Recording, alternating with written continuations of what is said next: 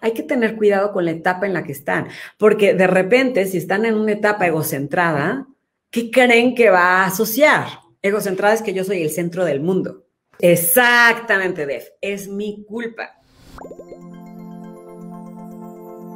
El niño empieza a sentir que es su culpa. ¿Por qué? Pues porque está egocentrado. Todo lo que sucede en el mundo salió de mí, Sobre todo en este primer septenio y sobre todo en el primer septenio estamos hablando de los primeros años de vida.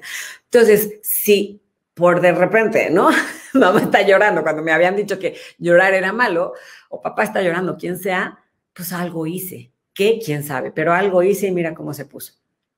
Entonces se va a asustar y se va a sentir culpable. Y no lo va a procesar como algo positivo, sino algo negativo.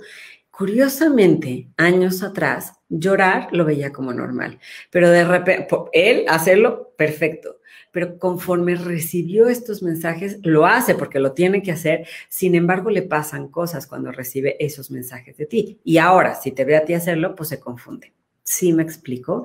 Entonces hay que hacer un proceso de desintoxicación de mensajes. Y esto tarda porque no te van a creer. ¿Sabes? Si toda la vida le dijiste que el que se enoja pierde y de repente se vale enojarse, va a decir en qué momento voy a acabar perdiendo. Es como, en algún momento va a explotar la bruja, no le creo, ¿cierto? Va a desconfiar. Entonces tenemos que ser muy congruentes y muy constantes para esta desintoxicación, para que el niño pueda darse cuenta de que las emociones son, no son ni buenas ni malas. Lo bueno o lo malo es lo que hacemos con ellas si yo tengo una emoción y estoy tan enojado que, ¡pum!, moqueteo a alguien con mi voz, con mi palabra o con mi mano, con mi puño, estoy haciendo daño a alguien. Ahí es en donde empiezan a tener un tinte. Mi elección es que le mostremos al niño la naturalidad de las emociones y que aprendamos a descargarlas de una manera positiva, de una manera sana. Ahora, esta mamá lo que mencionó es que las descargó en una pera de box. Eso es descargar de una manera sana. Pero el niño se asustó, porque seguramente hay mensajes previos de la misma mamá, de la familia o de la escuela o de alguien que enojarse, rayita, ¿cierto? Por eso se enojó.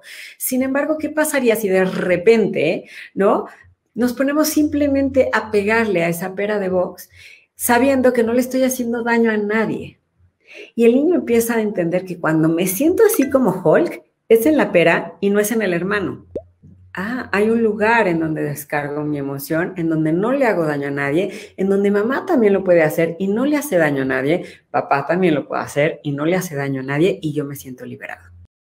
¿Vale?